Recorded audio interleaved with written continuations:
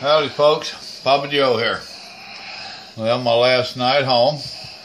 Doing a little cooking here. We're, uh, normally would have done this meal out on the grill. But with the, uh, stuff that we've been doing this weekend, it just didn't work out that way.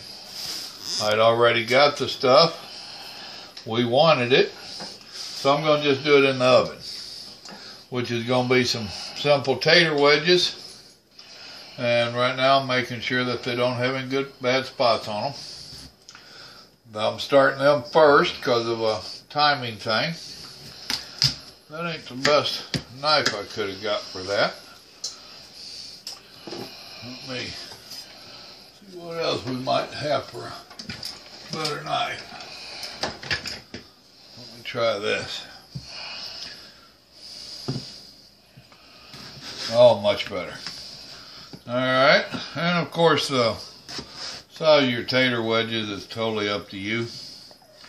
Some people call these homemade fries. I don't care what you call them as long as you call me for dinner. Well, we're going to get these going just like this. Got the cookie sheet as you can see. Oven's preheating at 350. I'm going to get these started. Then we're going to do some peppers and uh, asparagus and some meatballs.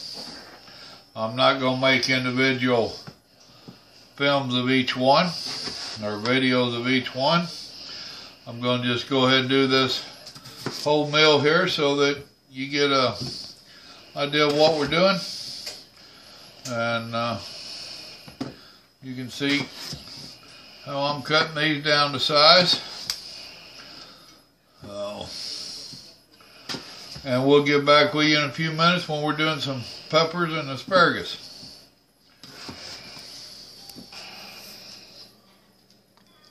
Alright, didn't realize she had turned it on. Asparagus. Now we're going to uh, cut around there because this stuff's hard. So uh, we're going to cut off the hard stuff. Huh? The uh, thing about asparagus is I didn't like it for years.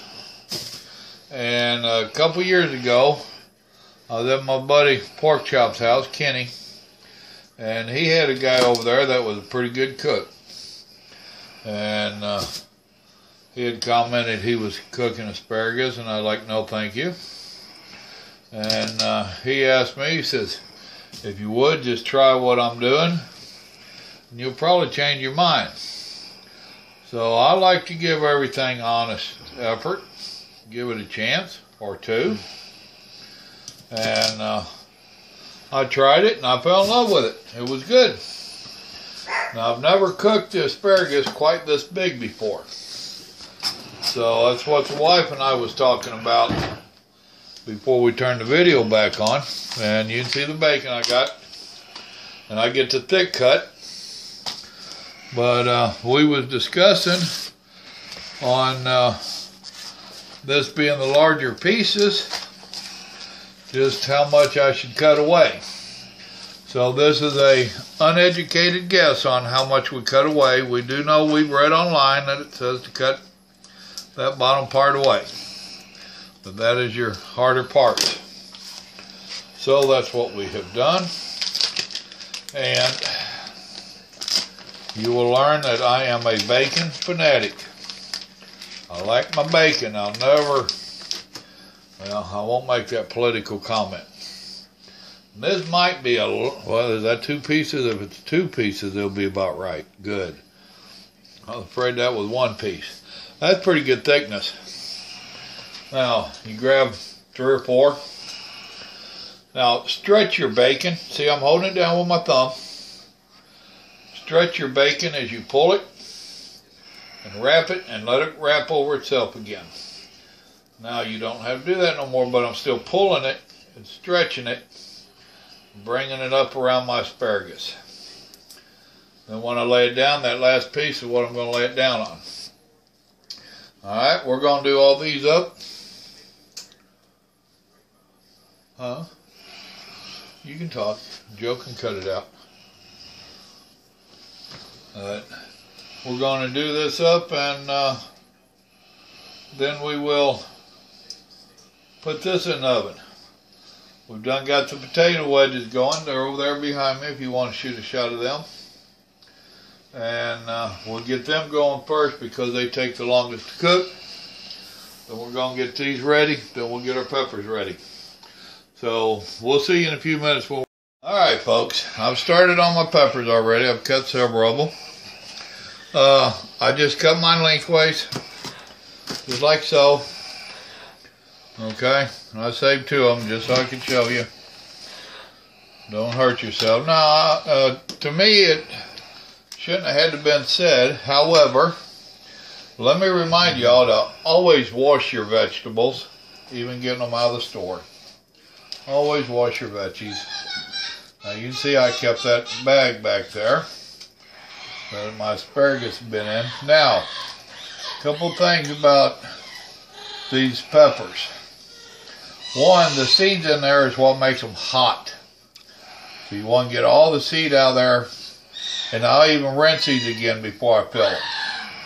There's a membrane down in there. See that seed trying to stick in there? That'll light somebody up. Well, there's a membrane down in these peppers as well. And of course, you hear our bird in the background. She's been quiet until we started videoing.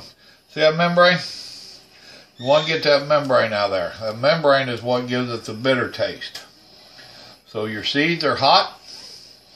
Your membrane makes it bitter. And I try to get as much of this white right here off as possible without this connecting my stem. And there'll be a seed or two on the outside. Like I said, I will rinse those. Well, there's the asparagus ready to go. Taters are in the oven. As soon as I get these cleaned and ready and washed, I'll bring you back on and show you next step. Alright folks, as you can see I'm putting the cream cheese in them. This is Philadelphia cream cheese. I'm just stuffing it in there, making sure you get it down in there real good.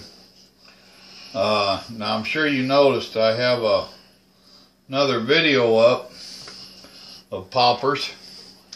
That was my buddy Kenny did them out on the road on one of our barbecues when we hooked up. And uh, now he's one of them that marries the halves back together.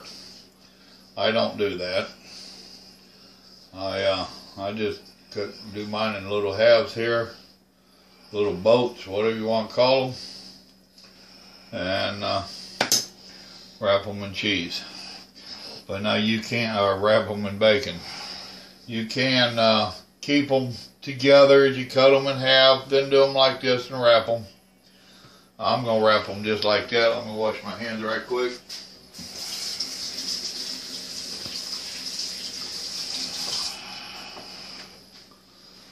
Oh, where'd our towel go? Right here.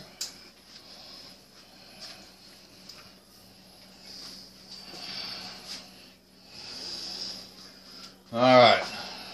Now same thing as when we was doing our asparagus. Make sure that's one. I'm going to hold it a little bit tight there and I stretch my bacon. It ain't wanting to stay put there. And this ain't necessarily as easy as it looks on here.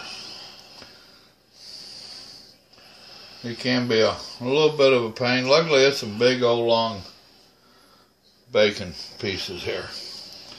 So, as you see, cut them in half. I washed them out. They, so they've been washed twice. Got washed once to get the fertilizer, pesticides, whatever they put on them out in the field. None of this stuff is really washed in the store, whether you know it or not. So they got washed the first time like that. Then after I cleaned the seeds out, membranes out. I washed them again to make sure I had all the seeds and membrane out. That's a lot of bacon. Alright, I'm going to do the rest of them like that and get them on the sheet. We'll get back with you when we're doing meatballs. Alright folks, I'm getting ready to start my meatballs. There's my asparagus and my peppers. Uh, doing the same thing on the meatballs basically I did last night or my hamburger meat. I'm using my Weber Gourmet Burger Seasoning. A couple things I want to tell you about the peppers, just in case. Uh, when you're handling them things and cutting them up and prepping them, make sure that you don't go rubbing your eyes and scratching your head and all that good stuff because uh, the juices will still burn the dickens out of you. A lot of people will actually wear gloves, rubber gloves while they're doing it, so that, that might be a consideration for you. And the closer the pepper is to the stem, the hotter it is. So, with that, I'm fixing to mix up some hamburger, cut up some cheese first, get ready to make the meatballs for you. Talk to you in a minute. Alright, grabbing a little bit of meat there, putting my cheese in the middle. We uh, use the same seasoning as before. Want to make sure you pack these. If you see where it's coming apart, that's not good. You want to work that meat a little bit. Make a real good solid ball. Roll it around like so. Alright, come out with a fairly decent ball. Now we are also going to, I'm going to just show you on this one, and we're going to do them all up. Take my bacon. I like bacon. And I'm going to wrap it in bacon.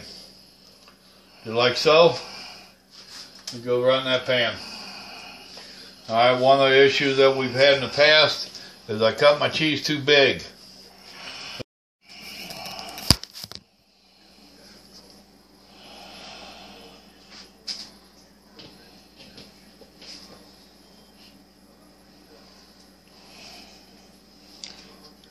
It acts like it's still recording, but it's It on. is. It's on pause.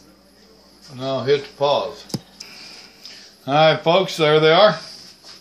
You see the asparagus and jalapenos in there? There's the taters. Taters are doing real good. And like I said, this is a meal I normally cook outside on the grill. Uh, just didn't work out that way this time, but we cooked it in the oven before. I like the smoke taste, but it is what it is. We'll show you finished product in a little while. Alright, folks, here we go.